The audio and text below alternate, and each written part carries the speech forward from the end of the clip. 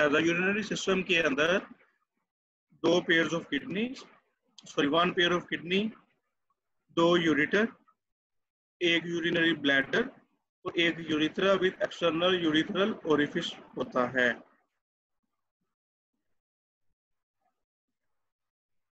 Kidney का अगर हम क्रॉस सेक्शन देखें क्रॉस सेक्शन के अंदर हमें वाजिया तौर पर इसके दो रीजन नज़र आएँगे, एक आउटर लाइटर रीजन नज़र आएगा और एक इनर डार्कर रीजन नज़र आएगा। डार्कर रीजन में triangular shape renal pyramids होते हैं। Triangular shape renal pyramids होते हैं।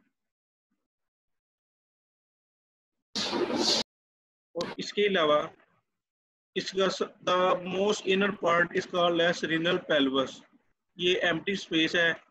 ये एक कंटेनर है स्पेस है जो कि पेल्वस कहलाता है। यहाँ पे नेफ्रॉन्स अरेंज होते हैं। किडनी के जितने भी नेफ्रॉन्स हैं, वो सारे रीनल कॉर्टेक्स और रीनल मेडोला में अरेंज हुए होते हैं। यूरिन यहाँ से फिल्ट्रेशन के बाद यहाँ पे रीनल पेल्वस में कलेक्ट होता है। रीनल पेल्वस से ये यहाँ से डायरेक्टली एंटर होता है यूरिटर के अंदर। यूरिटर के अंदर ये एंटर होता है। अच्छा अब इसके अब इसके अंदर ब्लड सप्लाई कहाँ से एंटर होती है? रीनल आर्टरी किडनी के अंदर ब्लड लेके आता है। रीनल आर्टरी किडनी के अंदर ब्लड लेके आती है और वो ब्लड तमाम किडनी के अंदर सर्कुलेट करता है और किडनी के तमाम नेफ्रॉन्स के अंदर वो ट्रांसफ़र हो जाता है आने वाला ब्लड और जब ब्लड फिल्ट्रेशन के प्रोसेस से गुजर जाता है फिल्ट्रेशन मुकम्मल हो जाती है फ़िल्टर हुआ ब्लड बाद में बॉडी में वापस जाता है through this renal vein renal vein के थ्रू ये ब्लड वापस चला जाता है। अच्छा जैसे ही ये रीनल आर्टरी किडनी में एंटर होती है, ये डिवाइड करती चली जाती है छोटी छोटी ब्रांचेस के अंदर, जिसको हम कहते हैं आर्ट्रियोल्स और बाद में ये कैपिलरीज में कन्वर्ट हो जाती हैं। रीनल आर्टरी डिवाइड करके तब्दील होती है आर्ट्रियोल में और आर्ट्रियोल जो है ये मजीद डिवाइड करती है और ये कैपिलरीज के अंदर डिवाइड हो जाती है। और इसी तरह कैपलरीज आपस में कनेक्ट करती हैं तो रीनल वेन्यूल बनती हैं। ये रीनल वेन्यूल्स ब्लू कलर की ये जो छोटी छोटी ब्लड वेसल्स हैं, इनको हम रीनल वेन्यूल्स कहते हैं और रीनल वेन्यूल्स आपस में कनेक्ट करके रीनल वेन की फॉर्म में आ जाती है।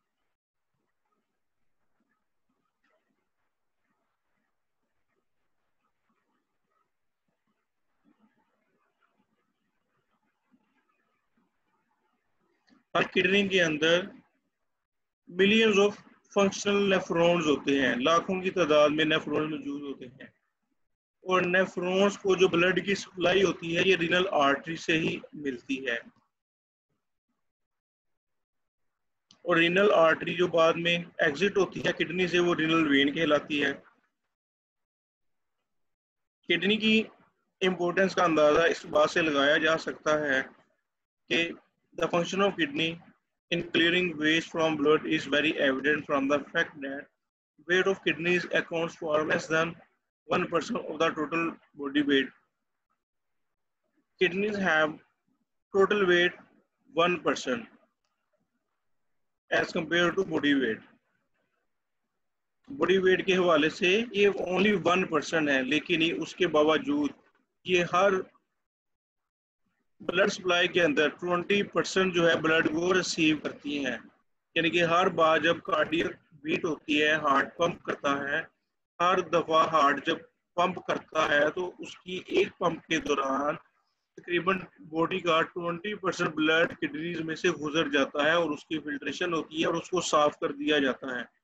अब आप अंदाज़ा लगाएँ कि नेचर ने किस तरह से गिफ्ट गिफ्ट प्रोवाइड किए हैं ह्यूमन बॉडी को कितने एफिशिएंटली वो परफॉर्म करते हैं। किडनीज में जब फिल्ट्रेशन का प्रोसेस होता है, फिल्ट्रेशन प्रोसेस के बाद जो भी फिल्ट्रेट नेफ्रॉन के ट्यूबुलर सिस्टम में कलेक्ट होता है, उसको मजीद प्रोसेस करके उसको रीनल पैलवस में भेज दिया जाता है किडनी पैलवस के अंदर। और पेल्विस के रास्ते से वो यूरिटर के अंदर एंटर होता है और यूरिटर से वो बाद में यूरिनरी ब्लैडर में एंटर होता है और यूरिनरी ब्लैडर से वो बाद में यूरिथरल ओरिफिस के अंदर एंटर होता है और बाद में ये यूरिनेशन का जो प्रोसेस है, पेशाब करने का अमल है, इस प्रोसेस से ये बॉडी से खारिज हो जाता है।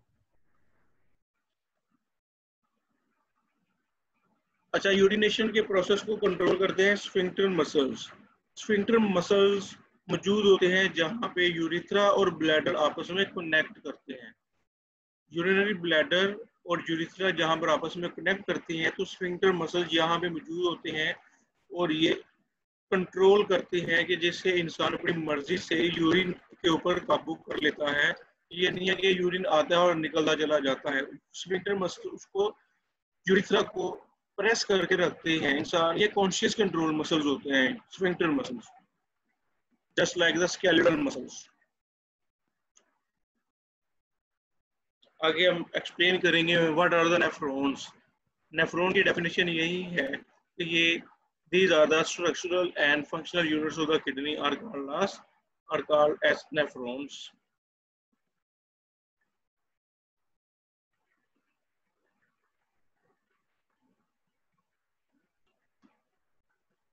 In human kidneys इंसान के जो किडनीज हैं इनके अंदर नेफ्रॉन्स किडनी के अंदर दो रीजन्स के अंदर अरेंज हुए होते हैं एक कॉर्टेक्स और एक मेडोला अभी हमने डिस्कस किया था कि जो किडनी है किडनी के दो रीजन होते हैं एक आउटर रीजन जिसको हम मेडुला कहते हैं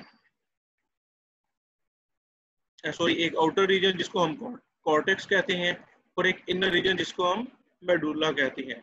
अच्छा कुछ नेफ्रॉन्स ऐसे होते हैं जो कि इस बॉर्डर पे अरेंज होते हैं। कॉर्टेक्स और मेडुला के बॉर्डर पर अरेंज होते हैं। जैसा ये। बाहर वाला रीजन कॉर्टेक्स अंदर वाला मेडुला और बॉर्डर पे अरेंज होते हैं। इनको हम कहते हैं जक्स जक्सा मेडुलरी नेफ्रॉन्स इनको हम कहते हैं जक्सा मेडुलरी नेफ्रोन। ये जक्सा मेडुलरी नेफ्रोन बहुत ही स्पेशल फ़ंक्शन परफॉर्म करते हैं। वो ये है कि ये स्पेशलाइज होते हैं, बहुत ही ज़्यादा कंसनट्रेटेड यूरिन प्रोड्यूस करने में। यहाँ से वाटर री अब्जॉर्प्शन बहुत ज़्यादा होती है। जक्सा मेडुलरी नेफ्रोन के अंदर वाटर री अब्जॉर्प्शन बहुत ज़्यादा होती है। एज कंपेयर टू उन नेफ्रोन के, जो कि यहाँ पे सब कॉर्टेक्स में रेंज होती है। कुछ नेफ्रॉन सिर्फ़ ये देखें कॉर्टेक्स में रेंज है। और बाकी नेफ्रॉन जो है वो कॉर्टेक्स से मेडुला की तरफ़ भी रेंज हुए होते हैं, इस रीनल पैरामिड के अंदर स्पेशली ये शॉर्ट क्वेश्चन है what are the juxtamedullary nephron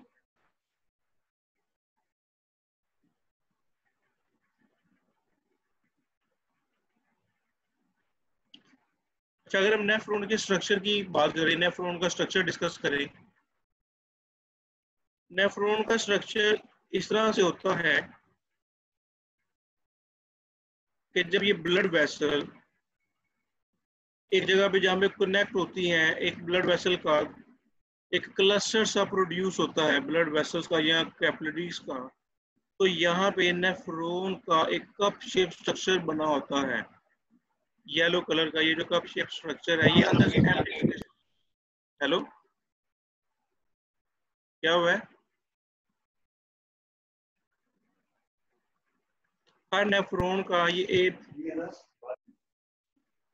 cup shape structure होता है वूमैन कैप्सूल्स कहते हैं। वूमैन कैप्सूल्स और इसके अंदर जो ब्लड कैपिलरीज का क्लस्टर होता है, इसको हम ग्लोमेरुलस कहते हैं।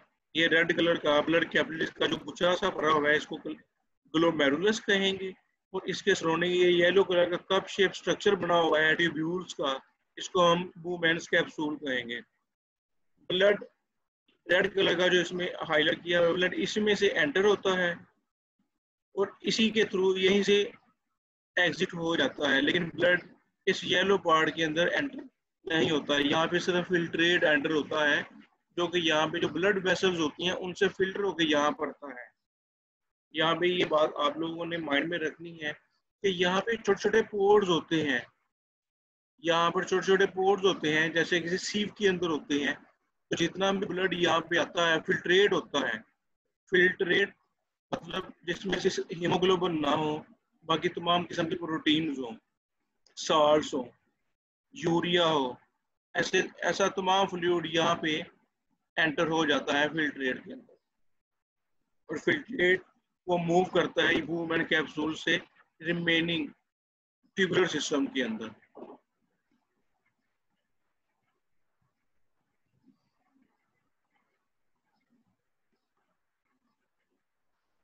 अच्छा ग्लोमेरुलस के अंदर एक आर्टरी कहलाती है अफीरेंट आर्ट्रियोल ये फ़र्स्ट वाली अफीरेंट आर्ट्रियोल कहलाएगी, एक से A A W F E R E N T afferent afferent arteriole afferent atriole carries the blood towards the glomerulus glomerulus की तरफ़ ब्लड जो है अफेरेंट एट्रियोल्स की तरफ़ से आता है।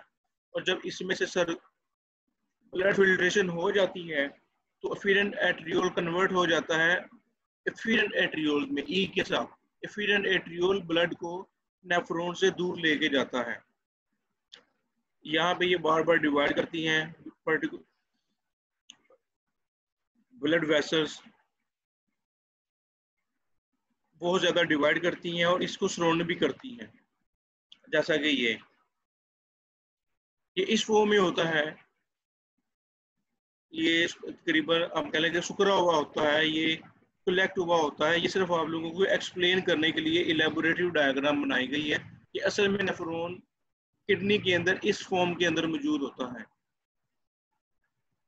अब डायग्राम में देख सकते हैं। अफेरेंट अर्ट्रियोल ब्लड ग्लोमेरुलस के पास लेके आती है। यहाँ पे फिल्ट्रेशन का प्रोसेस होता है और उसके बाद अफेरेंट और एट्रियोल यहाँ से बाहर निकलती है और वो मजीद डिवाइड होती है और पूरे नेफ्रोन को ब्लड कैपिलरीज का एक नेटवर्क जो है वो कवर कर लेता है। पूरे नेफ्रोन को उसने कवर किया हुआ है। ये जो पूरा, ये जो इसका नेटवर्क है ब्लड वेसल्स का, जो अफेरेंट एट्रियोल से निकला है, इसको हम पेरिटिबुलर कैपिलरीज कहते हैं। इसको हम कहेंगे पेरिट्यूबुलर कैपिलरीज अच्छा वुमेन्स कैप्सूल जो है वुमेन कैप्सूल की तरफ़ दोबारा वापस आते हैं, जो कि नेफ्रोन का फ़र्स्ट पार्ट है। ये मजीद आगे जाता है और इसके अंदर टर्निंग पॉइंट्स आते हैं, या उसको हम कॉन्वुलेशन कहते हैं। कॉन्वुलेशन या टर्निंग पॉइंट्स तो जो टर्निंग पॉइंट्स वुमेन्स कैप्सूल के पास होते हैं, उसको हम कहते हैं प्रोक्सिमल ट्यूब्यूल्स प्रोक्सिमल ट्यूब्यूल्स क्योंकि ये सबसे पहले आ रहे हैं वुमेन्स कैप्सूल के।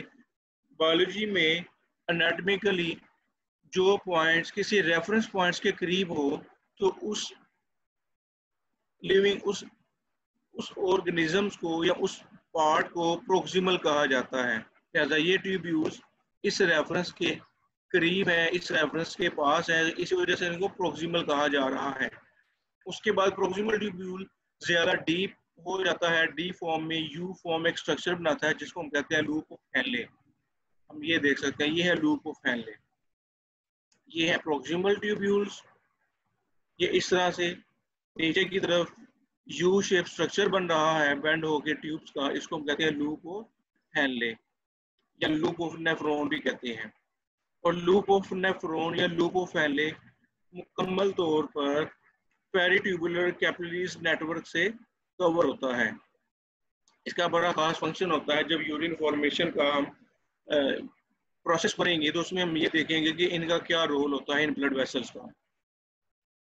लूप ऑफ़ फैली मजीद, उसके बाद ये दोबारा कॉन्विलेटेड पोशन स्टार्ट हो जाता है, बल खाता हुआ, बल है इसके अंदर, मोर है इसके अंदर, इसको हम कहते हैं डिजिटल ट्यूब्यूल्स या कहते हैं distal convoluted tubules distal convoluted tubules distal इसलिए इसके लिए वर्ड यूज़ किया गया है कि ये वूमेन कैप्सूल से एक डिस्टेंस पे वाक़ है। दूर है वूमेन कैप्सूल से काफ़ी दूर है। इस दूरी की वजह से, इस फासले की वजह से इसका नाम रख दिया गया है डिजिटल कॉन्व्यूलेटेड ट्यूब्यूल्स अब ये डिजिटल कॉन्व्यूलेटेड ट्यूब्यूल्स बाद में जाके कनेक्ट करता है कि कलेक्टिंग डक्ट होती है। कलेक्टिंग डक्ट के अंदर कई से कई से नेफ्रोन आके कनेक्ट हो रहे होते हैं। जैसा कि यहाँ पे एक नेफ्रोन कनेक्ट हो रहा है, यहाँ पे कोई कनेक्ट होगा। जैसा कि आप ये देख सकते हैं, ये है कलेक्टिंग डक्ट कलेक्टिंग डक्ट में मुख्तलिफ़ न्यूरॉन्स आके कनेक्ट करते हैं। यहाँ पे यहाँ पे यहाँ पे यहाँ पे। और जैसे ये कनेक्ट किया हुआ है। और कलेक्टिंग डक्ट फाइनली एम्प्टी होती है into the pelvis collecting duct pelvis के अंदर एम्प्टी होती है और जहाँ पे यूरिन कलेक्ट होके यूरिटर से फ्लो करता हुआ यूरिनरी ब्लैडर की तरफ़ फ्लो करता है।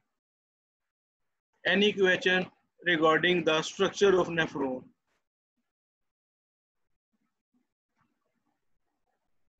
nephron के स्ट्रक्चर के हवाले से किसी ने कोई क्वेश्चन पूछना हो? मोशन नो सर थैंक यू आपको समझ आ गई है? बल्कि ये तो आपने पहले अकेडमियों में भी पढ़ा हुआ है ये वाला लेक्चर जी सर मोहम्मद दाऊद. जी सर आ गई है समझ। क्या है पढ़ा हुआ है अकेडमी में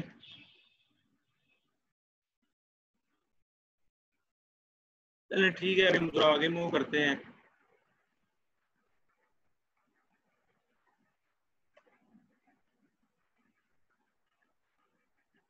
Collecting tubules opens into the pelvis. Filtrate from glomerulus passes through these structures and is processed ultimately for urine formation. करके जो फिल्ट्रेट होता है वो ग्लोमेरुलस से होता हुआ फिल्ट्रेट जो ग्लोमेरुलस से फिल्ट्रेट निकलता है, वो बुमेन कैप्सूल से होता हुआ प्रोक्सिमल ट्यूब्यूल प्रोक्सिमल ट्यूब्यूल से लूपोफैनली फैलने के बाद वो डिजिटल ट्यूब्यूल और डिजिटल ट्यूब्यूल के बाद वो कलेक्टिंग डक्ट और कलेक्टिंग डक्ट से होता हुआ वो रीनल पेल्विस के अंदर एम्प्टी होता है। अच्छा जस्टा मेडुलर नेफ्रॉन के अंदर कुछ एडिशनल कैपिलरीज होती हैं जो कि वेजा रेक्टा बनाती हैं ये भी शॉर्ट क्वेश्चन है what are the vasa recta vasa recta in are additional blood capillaries which surrounds the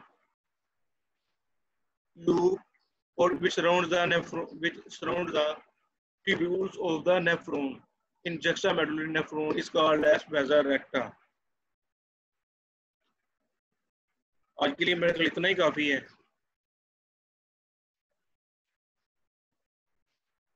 चार स्लाइड्स कल हम स्टार्ट करेंगे प्रोडक्शन ऑफ़ यूरिन या ये भी आज ही अवॉइड कर दे। हाँ भी, क्या कहते हो आप लोग?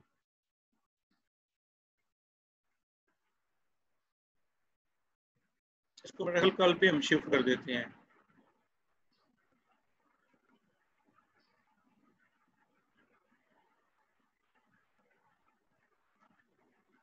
हाँ जी, कोई क्वेश्चन पूछना हो आप लोगों ने?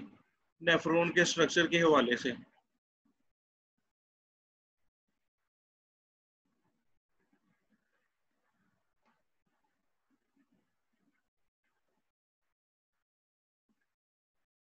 अहमद अब्दुल रहीम।